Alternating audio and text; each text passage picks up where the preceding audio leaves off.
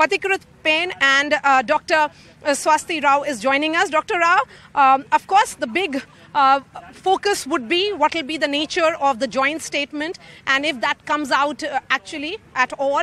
Uh, but uh, India certainly sending a message that India is the consensus builder and, and is hoping to really ensure that message gets communicated through a joint statement.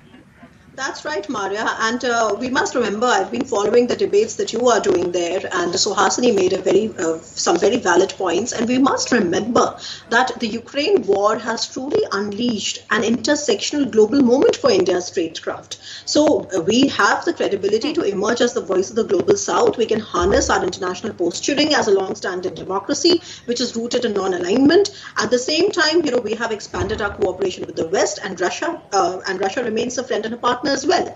But having said that, uh, it, what is happening today in New Delhi is definitely a test for India's deft diplomatic pragmatism, more so because the last meeting, the finance ministers and the uh, you know heads of the central banks uh, that was held in Bengaluru.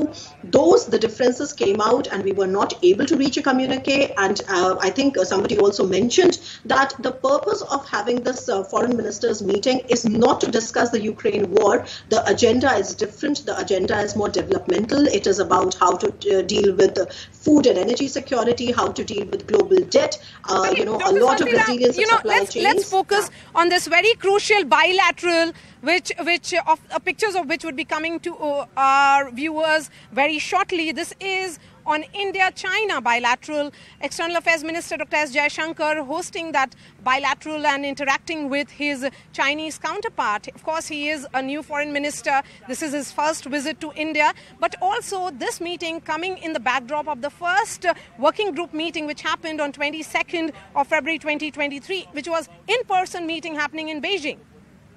Right, Maria. See, uh, that is that is the beauty of all these grand multilateral, uh, uh, or you know, forums because they also give you the opportunity to engage bilaterally with so many of your friends and allies and also adversaries. So I think uh, what is important is that we must we must remember it's not just the G20, but India is also holding the presidency of the Shanghai Cooperation Organization simultaneously, where China is a member. Yes. I do not expect, uh, you know, any breakthrough um, or sort of a breakthrough to uh, to come on the LAC issue uh, per se, but as far as driving the agenda and about, you know, this entire um, responsibility that I think both India and China understand very well uh, with respect to what their, um, uh, you know, um, uh, participation in terms of global trade and all the climate uh, discourse, etc. I think at the same time, we understand that there's a lot riding on the big players' shoulders. And uh, I think these bilaterals also give a very good opportunity and space to sort of talk about that and address each other's concerns better,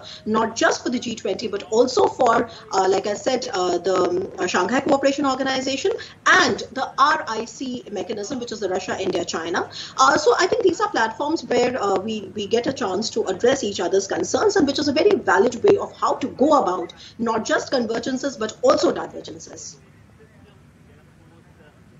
Yes, and issues that cannot be resolved should be on the back burner issues that can be converged upon where consensus can be arrived at should be in the foreground is a message that is coming in. Pathikrit, you know, even as the disengagement process continues at the LAC, the big visual opportunity or, or, or the big political message in terms of uh, optics certainly would be that India and China are meeting, that this is an in-person meeting which is happening right at the top.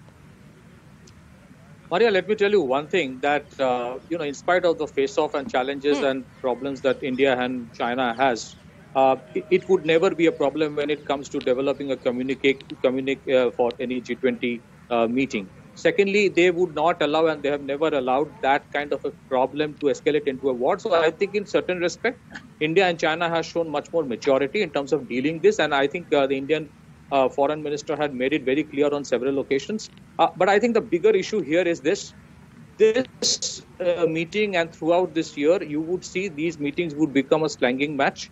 And that is the reason South Korea and Japan did not send their foreign ministers because they knew that European Union and United States would expect them to actually, you know, fight and support their views, which uh, these countries are finding it very difficult to actually do beyond the point because the sanctions culture is creating ma- major problem in most of the countries uh, and not just Europe only.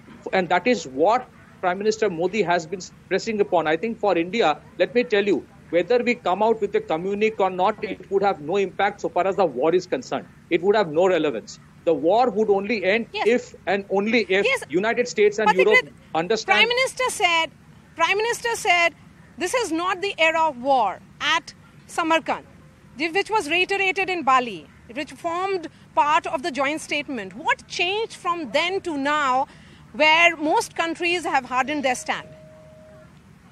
Well, first of all, we have to understand that message was only not for Russia or Ukraine. It was also for the West, which has been responsible for many wars. This, you know, the problem is this, and that is where United Nation reform is important. That's what Prime Minister is mentioning. That the conflict resolution mechanism, United Nation, is a complete flop.